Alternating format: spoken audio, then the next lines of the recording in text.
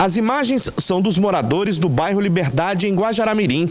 Eles colocaram paus e pedras e fecharam a rua em protesto com a falta de asfalto e principalmente de iluminação pública.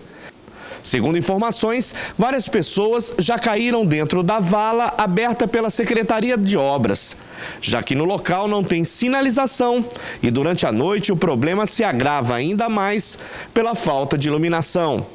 Os comerciantes do bairro reclamam ainda dos prejuízos, já que a lama impede o acesso dos clientes nos estabelecimentos comerciais.